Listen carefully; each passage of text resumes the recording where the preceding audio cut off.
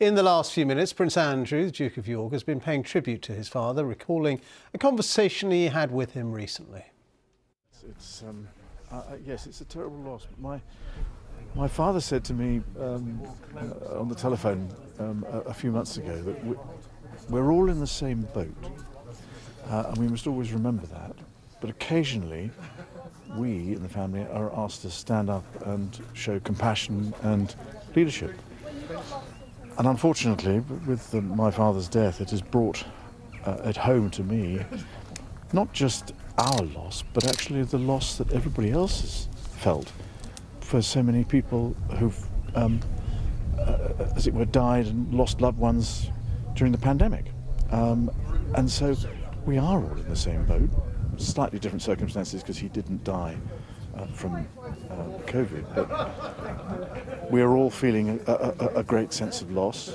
Um, but at the same time, the tributes have been absolutely amazing that, that, that, that, I've seen, and the messages that I'm getting are absolutely outstanding. Um, and I just want to say how grateful uh, I am, we are, um, for these tributes. Um, uh, he was a remarkable man. Um, I loved him as a father. He was so um, calm. If you had a problem, he would think about it, uh, and that's the that's the great thing that I always um, think about is that he was always somebody you could go to, and he would always listen. Um, so it's a great loss.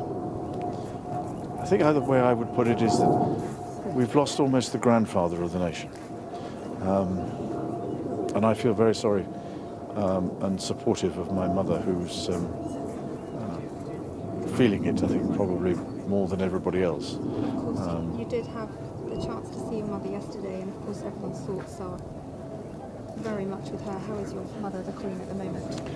Uh, the Queen, as you would expect, is an incredibly stoic um, person, um, and um, uh, she described uh, his passing as a miracle, and, and um, uh, and she's um, contemplating, I think is the way that I would put it. There, she described it as, as, as having left a huge void um, in her life. Um, but we, um, the family, the ones that are, that are, that are close, are, are, rallying round to make sure that, that uh, we're there um, to support her. Um, and, uh, and I know that, that, that there is a huge amount of support uh, uh, not just for her, but, but for, for everybody um, as we go through this um, enormous change.